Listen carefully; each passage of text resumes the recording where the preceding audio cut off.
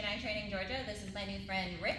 Rip is an eight-month-old Labradoodle starting his two-week board and train today. No behavioral issues with Rip. Owner's biggest complaints are jumping, uh, leash pulling. He's very distracted. He has no sense of recall. She's done a little bit of training at home with him. Hey, buddy. Um, he knows sit and down and a little bit of stay, but it's got to be on his terms and with no distractions at all. So we will see what Rip knows today. Rip, come.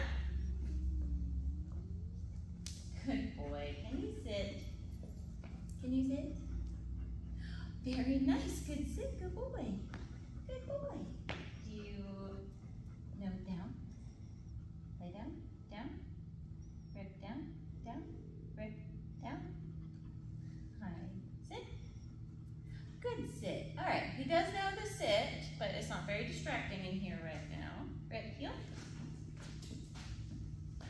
Rip, heel. Heel.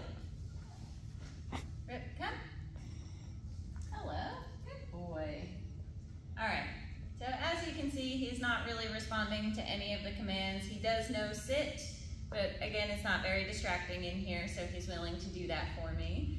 We will get Rip trained on and off leash, distraction proof. Stay tuned to see all the progress he's made over the past two weeks.